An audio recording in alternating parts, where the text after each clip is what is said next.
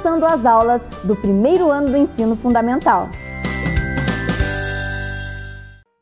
Vem aí, língua portuguesa. Olá, crianças! Boa tarde! Tudo bem com vocês? Que saudades! Eu sou a professora Kioma, sou lá da Escola Nelson e hoje eu vim para dar aula para vocês. Mas eu quero mandar um beijão para toda a Escola Nelson e principalmente para os meus alunos do primeiro ano, que estão de parabéns. Eu tenho visto as fotinhos e estou muito feliz, muito orgulhosa da minha turma. E eu sei que todas as crianças de Ponta Grossa estão também trabalhando bastante, não estão perdendo tempo para que a gente possa, quando voltar, voltar bem sabidos, não é mesmo? Então, olha só, hoje eu quero contar para vocês que durante a semana nós vamos precisar de alguns materiais. Mas antes, vamos ver os objetivos da nossa aula de hoje? Conhecer diferentes gêneros textuais no campo literário identificar as características do gênero textual fábula, reconhecer o sistema de escrita alfabética como representação dos sons da fala. E vamos ver agora quais os materiais que nós vamos precisar para esta semana. Então você já vai providenciando aí na sua casa vamos precisar de dois rolinhos de papel higiênico. Guarda que nós vamos fazer uma coisa bem legal. Tesoura, cola quente ou cola branca, tinta guache preta, pincel, papel branco, retalhos de VA ou de papel mesmo, fita e canetinha. Anotou? Então, vai separando este material, porque nós iremos confeccionar um personagem da nossa história. E olha só, nós também faremos algumas atividades no caderno. Vamos ver como nós temos que registrar? Toda vez que nós formos fazer atividade no caderno, você colocará a data, escreve atividade e aí você escreve o que a professora vai ter passar. Letra maiúscula, letra de forma e bem caprichado. Ah, mas vocês viram que eu estou hoje vestida assim? Por que será? Quem será que usa esse tipo de roupa? Ah, quem gosta da cozinha, não é mesmo? Quando nós estamos na cozinha, nós usamos uma, um avental para proteger a nossa roupa. E eu trouxe aqui hoje para vocês um cardápio literário. olha só quantas coisas gostosas para a gente ler. Mas o que eu trouxe aqui no cardápio literário? Vamos ver? Ah, no cardápio literário nós temos as tirinhas. É, olha só, e eu dou uma dica para as crianças do primeiro ano. Essa leitura é muito gostosa. As falas são curtas, são palavras fáceis e é muito legal de ler. Nem que se não tiver nada, se não tiver o balãozinho, você consegue fazer a leitura da historinha. Olha só a dica da prof. Tem também as histórias em quadrinhos, né? Que contam várias situações. Tem da Mônica, tem do Esmilinguido, várias histórias bem gostosas. Tem também a poesia. Quem não gosta de poesia? Ai, a poesia que enche o nosso coração de alegria, de emoção. Ah, e tem os livros Olha só, os livros interativos. É, nós conseguimos brincar com os livros. Tem também um livro que eu aposto que todo mundo tem em casa, que são as receitas. Aposto que a mamãe tem um caderninho aí na casa com as receitas favoritas da família. Esse aqui também é uma literatura muito apetitosa. Tem os livros também de aventura. Hum, o dicionário. Ai, o dicionário que nos ensina muitas palavras, o significado destas palavras. E temos também os livros das fábulas. Olha só, alguém já leu uma fábula? Ah, a fábula é o que nós vamos estudar nesta semana. É, este gênero textual, fábulas. Olha só, mas o que será que é fábula? Ah, a fábula é um tipo de história curta. Os personagens são sempre animais e estes ensinam como agir de acordo com o bom senso e como se sair bem nas situações difíceis. É, as fábulas, os personagens são os animais. Já leu fábula? Ah, agora aposto que vocês lembraram, né, desse gênero textual. É, e ela sempre no final ensina alguma coisa. Mas quem será que inventou a fábula? Vamos ver? Segundo o dicionário, fábula é uma pequena narrativa de ficção alegórica com intenção moral, na qual os personagens são, em geral, animais. Os maiores criadores de fábulas foram Esopo, na Antiguidade, e La Fontaine, no século XVII. Também é uma ficção. Ai, às vezes aparece uma mentirinha, coisa extraordinária, impossível de se acontecer. Mas por isso que a fábula é uma história de ficção é uma história da imaginação. Olha só aqui o Esopo. É, ele é considerado o pai da fábula. Ele é um fabulista grego que viveu antes de Cristo. E pelo que se conta, ele foi escravo em Samos, ilha da Grécia, e teria, depois de conseguir sua liberdade, viajado ao Oriente. Ele é um personagem meio lendário, tem muitas histórias sobre ele, que se representava como indivíduo feio, corcunda e gago. Mas as primeiras fábulas foram escritas por ele. Temos também o La Fontaine. Olha só, ele nasceu na França ele reeditou muitas das fábulas clássicas de Esopo, o pai do gênero.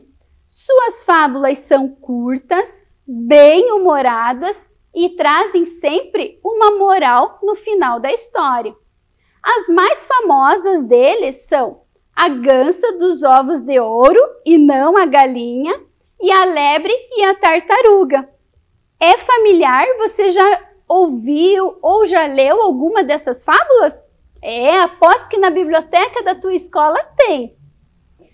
Mas nós temos também o Monteiro Lobato. É, ele é um fabulista brasileiro.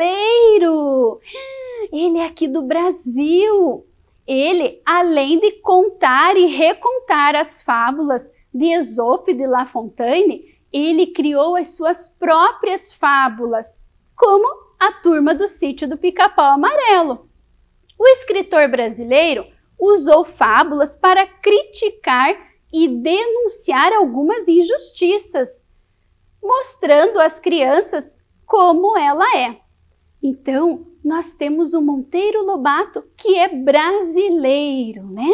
Mas a fábula, ela ensina muitas coisas. É, a fábula, ela faz nós viajarmos e uma coisa muito legal que os animais falam. É porque na vida real os animais não falam, mas nas fábulas eles falam, eles mostram seus sentimentos, eles aprontam bastante. E você sabia que você também pode ser um fabulista?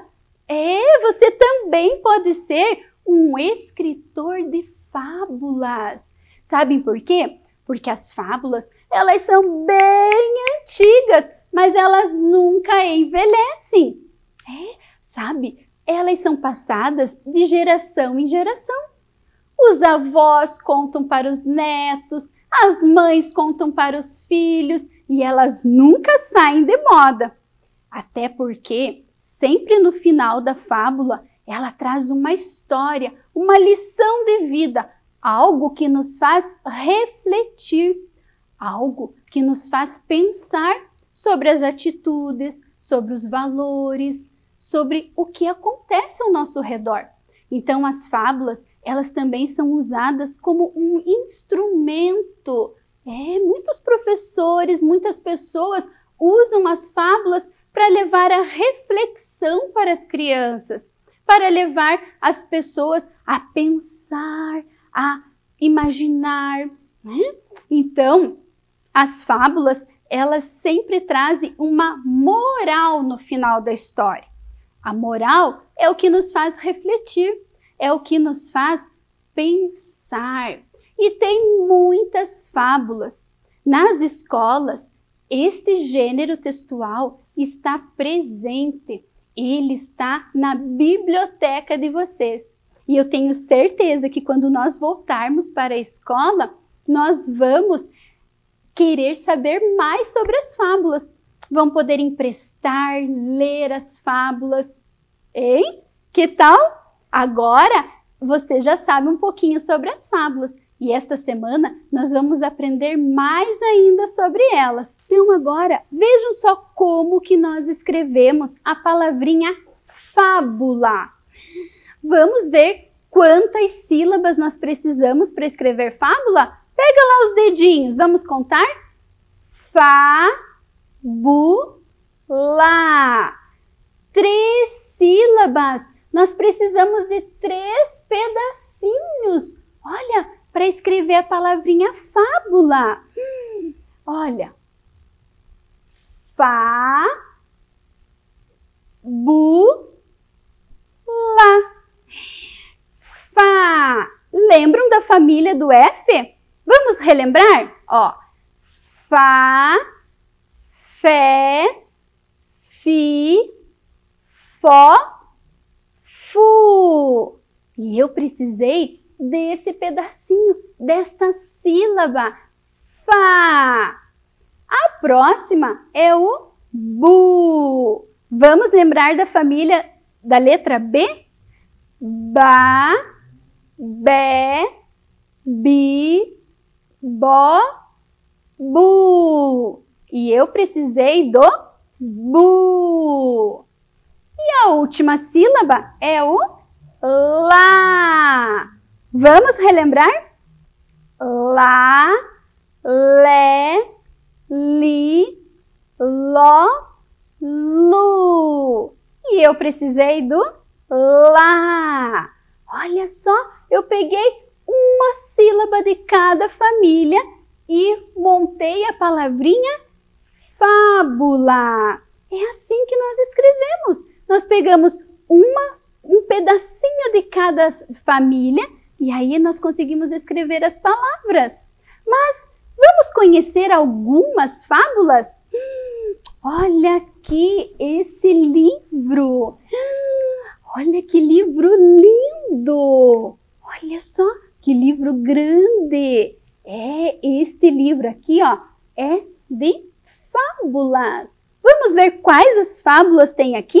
E aí você vai lembrar se você já ouviu ou se você já leu alguma dessas fábulas. Olha lá, a pomba e a formiga, o burro e o cão, o ferreiro e o cão, a trilha, o burro com pele de leão, a leiteira, a raposa e a cabra, o rádio, o pastor mentiroso, a cotovia, seus filhotes e o camponês, o trem, a lebre e as rãs, a arrecadação, o espantalho, o avião, o corvo e a raposa, o castor, o velho trem, a raposa e a galinha, o caminhão, o burro e o lobo, o golfinho e o macaco, o veado e a fonte, o barco anfíbio. Você lembrou de algumas dessas? Sabe, até no livro que nós usamos lá na escola, às vezes aparecem as fábulas. É, para nós interpretarmos, para nós refletir sobre as atitudes dos animais. Então, quando nós voltarmos para a escola, você vai procurar os livros de fábulas e vai ver qual você não leu, qual fábula você não conhece ainda, porque tem muitas fábulas, tem muitas histórias, elas são curtas, elas são de fácil entendimento, elas trazem o final, né, com uma moral, com uma reflexão para nós. E aposto que vocês vão gostar muito dessa leitura. E olha só, quando a gente lê, a gente fica muito mais esperto. A gente consegue escrever as palavrinhas com mais facilidade, a gente consegue interpretar, a gente consegue escrever sozinhos. Sabem por quê? Porque quando nós lemos, as palavrinhas vão sendo guardadas na nossa cabeça. É, na nossa memória. E aí, quando você precisar escrever alguma coisa ou você criar a tua própria história, você vai lembrar dos personagens, você vai lembrar das situações. E isto faz com que você fique inspirado a escrever a tua própria história. É muito legal, vocês não acham? A língua portuguesa é fantástica, porque nós podemos criar, nós podemos é, fazer essas leituras gostosas, criar a nossa própria história. E isso é muito importante. E antes de nós terminarmos a nossa aula, eu escolhi uma fábula deste livro aqui, ó. Hum, o burro com pele de leão. Era uma vez um burro que não estava feliz com sua sorte pois pensava que os outros animais eram mais felizes do que ele, por serem ferozes e temidos. Pensava nisso. De repente, encontrou uma pele de leão entre as árvores. Quis então se disfarçar com aquela pele para ter um aspecto mais feroz. Pensou que desta forma o temeriam e o respeitariam mais. Na realidade, ele estava ridículo, vestido com aquela pele de leão. Mas, para ele, a pele lhe parecia perfeita. Acreditava ter encontrado nela a solução dos seus problemas. Para provar a eficácia de seu disfarce, se aproximou de um camponês que trabalhava tranquilamente e deu um forte grunhido ao mesmo tempo que levantava as patas dianteiras. O jovem camponês saiu correndo, fugindo daquele estranho leão. Muito satisfeito com o resultado desta prova, foi para a aldeia. Todos que o viam saíam correndo apavorados. O burro ficou muito feliz com o medo que provocava e o respeito que todos tinham por ele agora.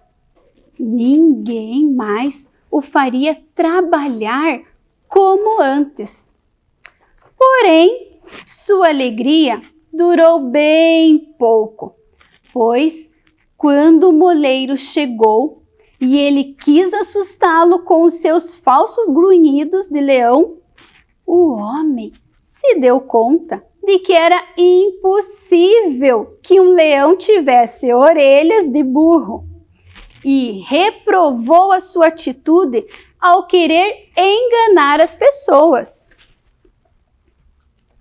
Depois de uma boa bronca, o moleiro retirou dele o disfarce e o obrigou a entrar no estábulo para trabalhar, carregando os sacos de farinha.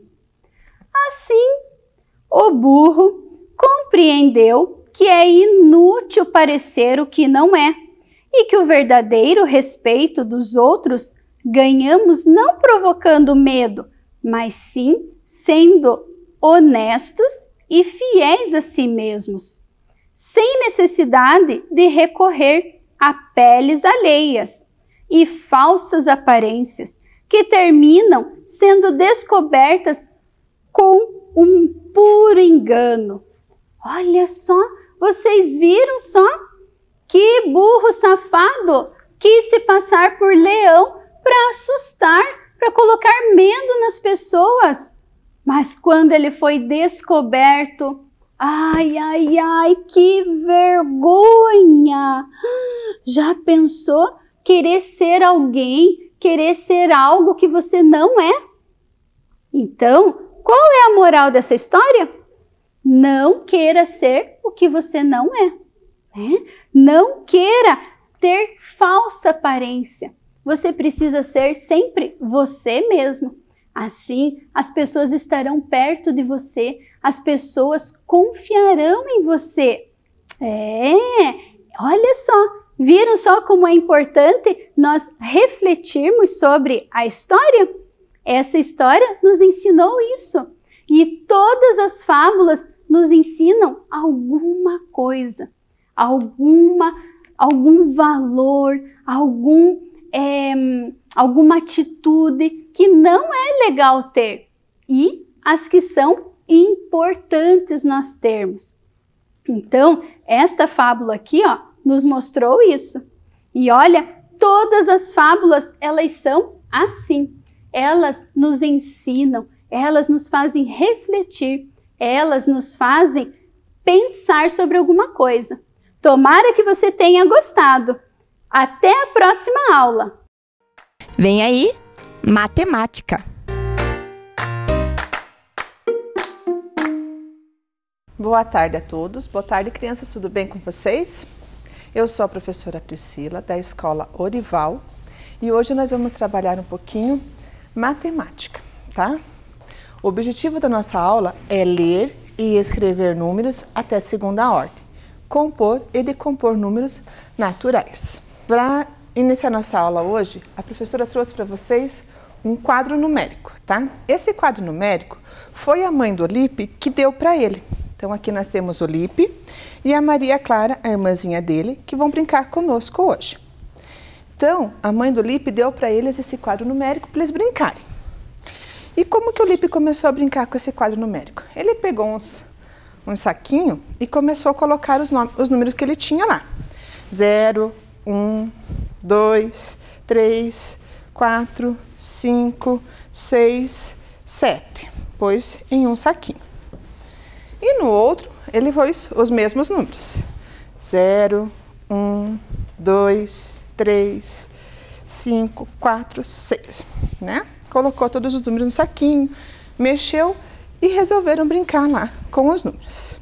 Então eles resolveram né, pegar um número de cada saquinho, certo? Então eles começaram lá montando o primeiro número, colocaram na casa da dezena, 40 e 5. Então eles montaram o número 45 e inverteram o número dos a posição dos números para ver se mudava o valor numérico. Eles viram que ficou 54. 54 é o número que a professora vai apresentar para vocês hoje. Vocês trabalharam com as outras professoras até o número 49. Então agora, hoje a gente vai começar dos 50 até os 69. Então vamos montar aqui. 50, 51, 52, 53, 54, 55, 56, 57, 58, 59. Aqui nós temos o número 54. Então, vamos achar aqui o 54 e colocar aqui na, na casinha como se escreve 54. Certo? E eles continuaram brincando lá. Foram formar outro número. Pegaram o número, vou deixar aqui do ladinho, o 54. Pegaram o número 30 e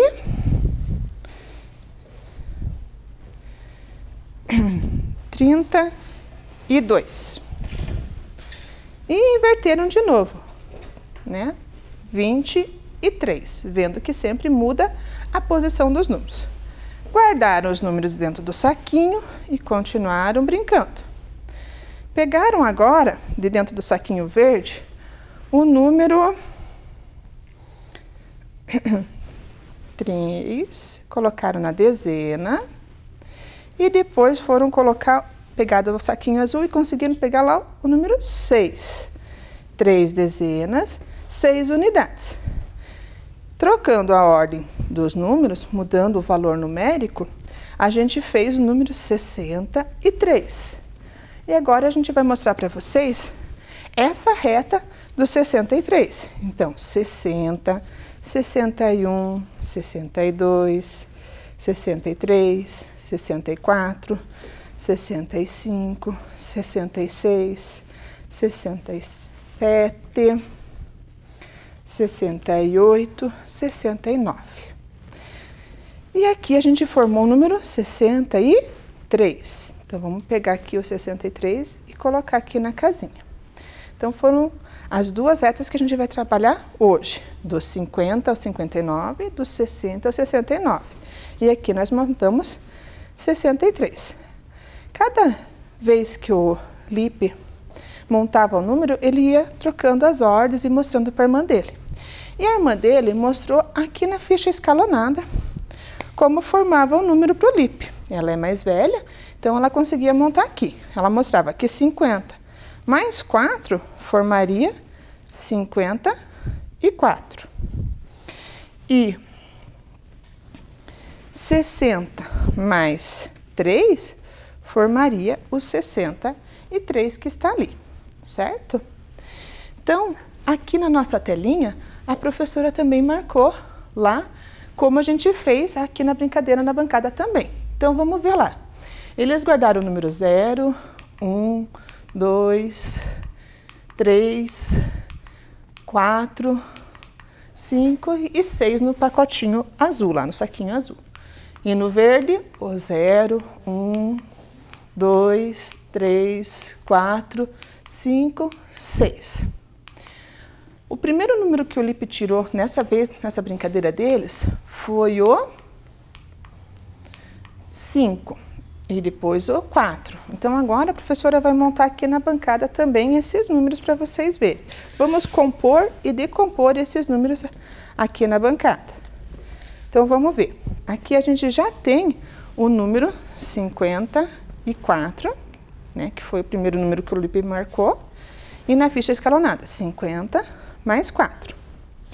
Agora, a gente vai montar ele decompondo. Vai pegar aqui de dentro do saquinho do Lipe os números e vai decompor. Então, como que a gente faz para decompor o número? A gente faz 50 mais o número 4. Então, 50 mais 4, a gente está decompondo o número, que é igual ao 54 que a gente formou aqui, né? 54. 5 dezenas, 4 unidades. Ok? E só para relembrar, a gente escreve 54. Olha, lá na nossa telinha também vai aparecer por extenso, opa, o número que ficou, 54.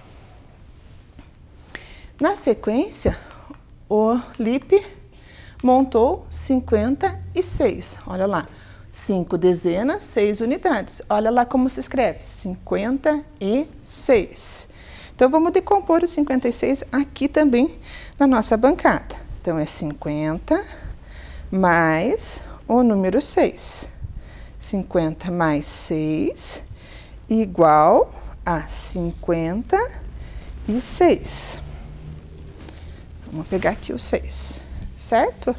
Então, quando a gente vai pôr aqui na casinha, a gente pode pôr como a gente fez já hoje, né? Aqui 50 mais 6 igual a 56. E para pôr aqui na casinha, a gente põe 5 dezenas, 6 unidades. Na ficha escalonada, 50 e o número 6, certo? Então, a gente está assim, compondo e decompondo o número. Então, vejam como é que fica aqui. 50 mais 6, 56, certo? E aqui também a gente pode inverter os números como o Lipe fez lá na brincadeira deles. Por 6 dezenas, 5 unidades. E a gente vai formar um novo valor numérico, 65. Então, olha lá como que escreve 65. 65. E a gente monta 60 mais 5 igual a 65. Na ficha escalonada, a gente pega os 60 e mais 5, né? Lembrando, 6 dezenas, 5 unidades. Vamos ver mais um número, então, lá na sequência. 64. Vamos ver como é que escreve? Se escreve 64, né? Então, vamos montar aqui de novo. O 60, agora, mais o 4. Vamos achar aqui, 4. 60 mais 4 é igual a 64. Vamos ver aqui como que escreve 64. 64 na ficha escalonada 60 mais o número 4, certo? Na sequência, a gente vai montar outro número com o LIP lá. É, agora, a gente vai montar um número com os amiguinhos do LIP. A Carol e o Ricardo são amigos da Ritinha e do LIP também. E eles foram brincar com os números igual a Carol, eh, igual o Lipe estava brincando. A Carol tirou os números vermelho e o Lipe amarelo. Vocês vamos tentar descobrir que números eles, eles tiraram de dentro do pacotinho? Então vamos ver. Aqui tem o quadro numérico de novo, né? Olhando lá que ele começa no 1, termina no 100, certo? E a gente vai ver quais são os números que eles tiraram. Então, começando pela Carolina. Carolina chegou, jogou a bolinha dela e caiu lá no 65. Então, aqui. Vamos montar o 65.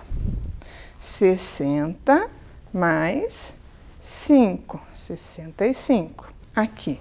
6 dezenas, 5 unidades. Então, a gente decompôs o número e compôs ele de novo.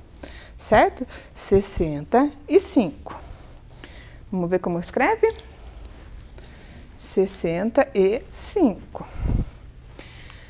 Depois foi a vez do Ricardo. O Ricardo tirou o número 35. Então, vamos fazer o número 35 do Ricardo. Três dezenas, né? 30 mais 5. Montando aqui, a gente pega mais o número 3 lá.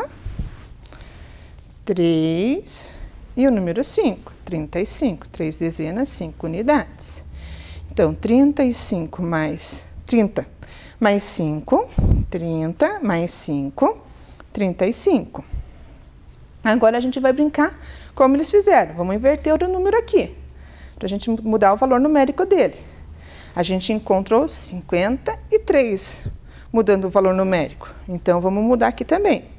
50 mais 3, para formar 53. E vamos achar aqui como se escreve 53, certo? Continuando ali, a gente achou o número 53, que foi esse que a gente já trabalhou aqui, né? A gente só não colocou na ficha escalonada. Então, vamos colocar aqui na ficha escalonada. 53 né? 50 mais o 3, 53. Certo? O Ricardo jogou a bolinha lá e foi parar no 62. Então, vamos montar o 62 agora. 60 mais 2. 60 mais 2. E vamos escrever aqui o número 62. 62. Como se escreve 62? Vamos achar aqui na nossa, nos nossos números. Ó, 62, certo? Na nossa ficha escalonada, a gente monta 60 mais 2. E na sequência, o Ricard, a Carolina jogou e deu 57. Então, vamos montar o 57 também. 50 e 7. 50 mais 7, que forma 57, né? Então, vamos escrever aqui, ó, 57. Na ficha escalonada, a gente monta 57. E aqui na nossa casinha, os cinco dezenas, sete unidades. Então, 57, cinco dezenas, sete unidades e a maneira que se escreve. Por último, o Ricardo jogou a bolinha e foi parar no 59. Então, 59, certo? Nós guardamos aqui e pegamos o 59 para a gente ver como se escreve. 50 mais 9. 5 dezenas, 9 unidades, 59. E aqui na ficha escalonada, 50 mais 9, certo? Então, aqui a gente viu os números, ele, é, as crianças brincando ali com os números. Aqui a professora trouxe como compor e decompor os números, que era esse o nosso objetivo, certo? Então, a gente vai brincar aqui um pouquinho de compor esses números ali. Iniciamos no 54. Então, 50 mais 4 igual a 54. Eu coloco na casinha para vocês verem que 5 dezenas, 4 unidades, certo? Então, 50 mais 4, 54. Dessa maneira, o número está decomposto. Aqui a gente compôs ele, formou o número, certo? Como se escreve 54? Aqui, 54. Depois, ali na nossa telinha, aparece 53. Então, a gente vai substituir aqui o 3 e aqui também o 3. E vai trocar como se escreve, né? Lendo lá, 53. Muito bem.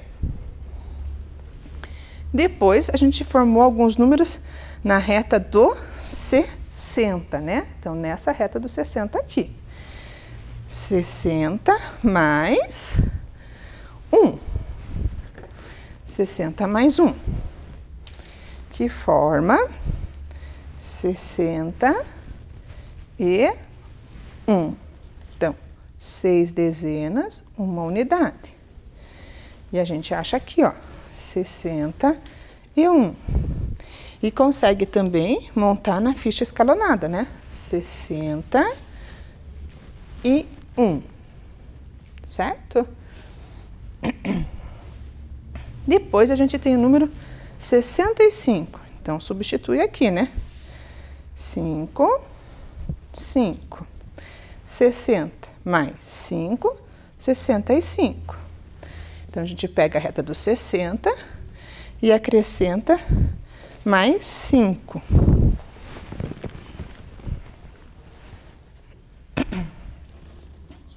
Aqui. 65, certo? Então aí a gente aprendeu compor, decompor e compor os números, ok?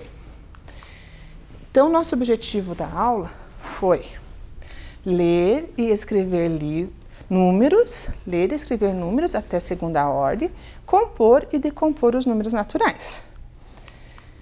Então, nossa tarefa de hoje vai ser da mesma maneira. Olha, aqui a gente vai compor os números, né? Então, a gente tem o número 40 mais 7. Então, a gente vai escrever naquela reta ali. 47. Do ladinho, a gente tem a escrita, né? O, o número por extenso, certo? Então, a gente vai ligar o número até como se escreve ele. Aí a gente vai ligar o 50 mais 3, o 60 mais 2, o 30 mais 8, o 60 mais 9. Monta o número, né, compõe ele e liga até o valor dele por extenso ali. Aí a gente vai formar números com o algarismo usando os números que estão nas estrelinhas, que vocês já conhecem. Então, ali a gente tem o 15 e o 51. Lembram da brincadeira do Lippe, que ele pegava os números e trocava de posição para ver o valor numérico deles? Então, 15, né? Uma dezena, 5 unidades, 5 dezenas, uma unidade. Mudou o valor numérico, certo? Mudou a posição do número, muda o valor numérico. Aí ele vai fazer a mesma coisa com o 2 e com o 6, com o 6 e com o 5, com o 6 e com o 3, com o 5 e com o 4, com o 2 e com o 5. Ok? Então, nós encerramos nossa aula hoje. Obrigada. Tchau, tchau, pessoal. Vem aí, Educação Física. Olá, crianças! Tudo bem com vocês? Espero que sim. Estão se cuidando em casa? Eu sou a professora Ana Paula, da Escola Judite Macedo Silveira, e hoje eu trouxe outras duas professoras pra, para nos auxiliarem nessa atividade. A professora Marcela, da Escola Guitil, e a professora Simone, da Escola Lúcia Pacher. A nossa atividade é jogos e brincadeiras. É uma brincadeira muito legal de origem africana, lá de Moçambique. Então, o objetivo de hoje é que vocês aprendam jogos de culturas diferentes. Para começar, vocês vão precisar de uma folha, pode ser uma folha menor que vocês tenham em casa, lápis, canetinha ou mesmo fita adesivas como a professora usou aqui e duas tampinhas de cores diferentes. Vocês vão precisar traçar este desenho aqui como um labirinto. É, essa aqui, esse é o nome do nosso jogo, labirinto, o nome da nossa atividade. O início do jogo se dá nessa extremidade aqui e vence o jogador que chegar ao centro do tabuleiro. Mas como é que joga isso, professora? É muito simples. Os jogadores vão precisar jogar jockey pô. Vocês sabem jogar, não sabem? O pedra, papel e tesoura? Vamos lembrar comigo lá. Pedra vence da tesoura, porque quebra a tesoura. Tesoura vence do papel, porque corta o papel. E o papel vence da pedra porque embrulha a pedra. Então os jogadores jogam, jockey pô, e o jogador que ganhar avança uma base. O que, que seria a base, professora? As bases são as bolinhas. Então cada vez que o jogador ganha no jockey pô, ele coloca a tampinha em uma base, até conseguir chegar no centro do tabuleiro. E aí, crianças, vamos para o jogo? Mas antes, vamos passar o álcool gel nas mãos das professoras para elas poderem brincar.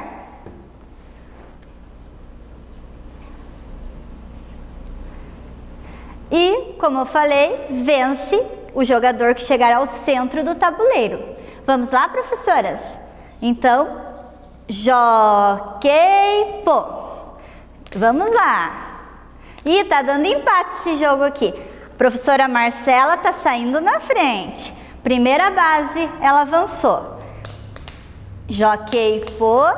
Isso, a professora Marcela avança mais uma base do nosso jogo. Vamos, professora Simone.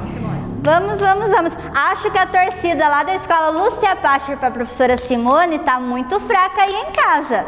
A torcida da escola Guitil da professora Marcela tá melhor.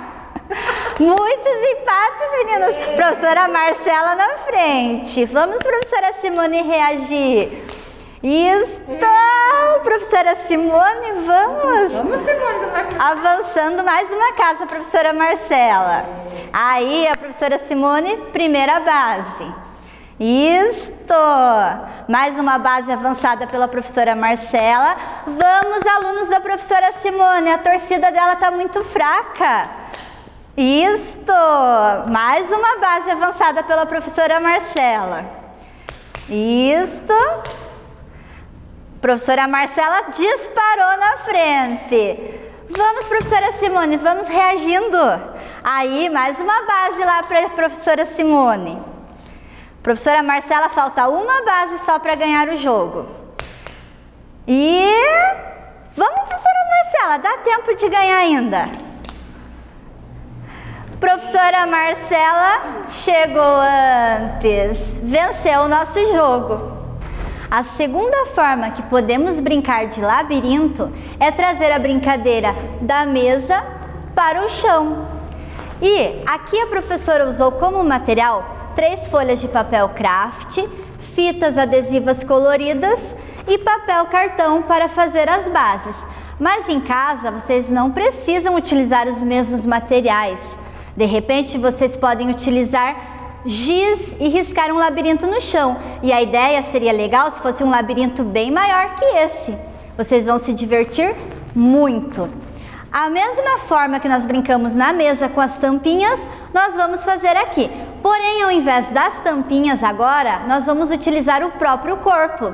E isso, quem avança na base, vai pisando sobre ela. Vou chamar novamente as professoras Marcela e Simone para me ajudarem na atividade. Vamos lá, professoras? Álcool gel de novo para elas poderem brincar.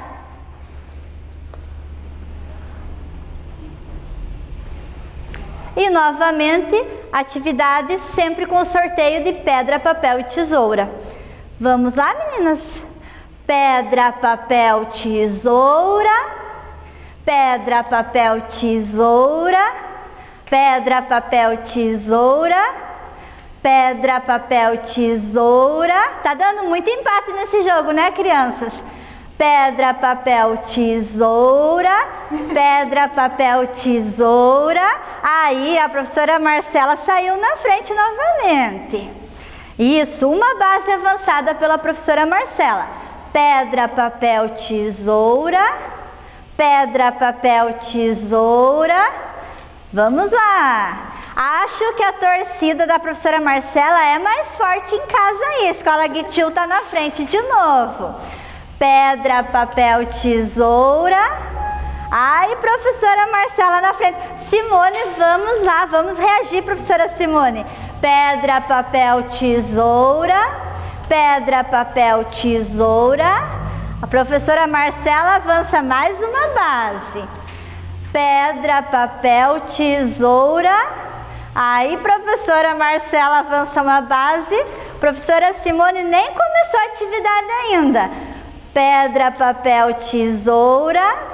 Ai, eu acho que hoje não é um dia de sorte para a professora Simone. Cadê os alunos da escola Lúcia Pacher torcendo pela professora Simone? Eu acho que você não tem torcida em casa, professora Simone. Pedra, papel, tesoura. Pedra, papel, tesoura. Pedra, papel, tesoura. Pedra, papel, tesoura. Aí, professora Simone avança uma base. Pedra, papel, tesoura. A professora Marcela avança mais uma base. Pedra, papel, tesoura. Aí, professora Simone, vamos reagindo. Pedra, papel, tesoura. Isso, professora Simone. Vamos que dá tempo de alcançar. Pedra, papel, tesoura. Professora Marcela avança mais uma base. Pedra, papel, tesoura. Aí, professora Simone, dá tempo de você alcançar ainda, professora Marcela. Pedra, papel, tesoura pedra, papel, tesoura. Vamos lá, professora Marcela está quase chegando ao meio. Pedra, papel, tesoura. Professora Marcela chegou ao centro do labirinto, venceu a brincadeira de novo. Acho que a torcida da professora Simone estava fraca aí em casa. Gostaram, crianças? Então não esqueçam, o labirinto, ela tem origem africana, lá de Moçambique. Espero que vocês façam em casa, tirem fotos, façam vídeo de vocês executando atividade em casa e mandem aqui para a gente. Até a nossa próxima aula!